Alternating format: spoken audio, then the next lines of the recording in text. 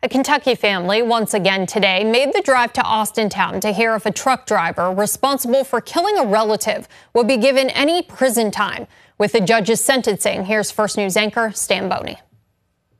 The family of 25 year old Zachary Leffler of Kentucky this afternoon took their seats in Austintown court. His mother, Shannon Ponder, wiping away her tears. Minutes later, New Jersey truck driver Davit Pluidze stood before Judge Scott Hunter and apologized for driving the truck that killed Leffler. The crash happening on Interstate 80 in Austintown last December. But there are no words to explain.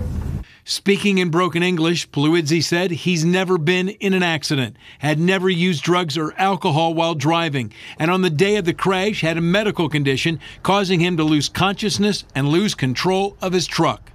The defendant has shown and continues to demonstrate genuine remorse for the tragic events. Pluidze previously pleaded no contest to misdemeanor vehicular homicide. Judge Hunter sentenced him to 30 days of house arrest, a $750 fine, 50 hours of community service, and two years probation.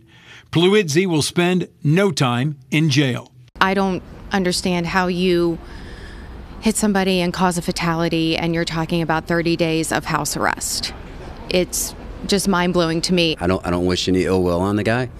I truly wish I knew if he was on drugs or not. Zachary Leffler's parents wish that Pluidze had been given a full blown toxicology test after the accident instead of the blood test administered by the hospital, which came back clean. They're now working to get the law changed in Ohio. When there's an accident like this, that you don't leave it up to the discretion of the police officers on scene, that you make it a requirement. Now, if we had had the toxicology report, maybe that would have given us an answer, but we'll never know. That's the problem. Zachary Leffler's parents will hold a news conference Wednesday in Cincinnati to unveil their effort to make full toxicology testing mandatory in cases like these. In Austintown, Stan Boney, WKBN 27 First News.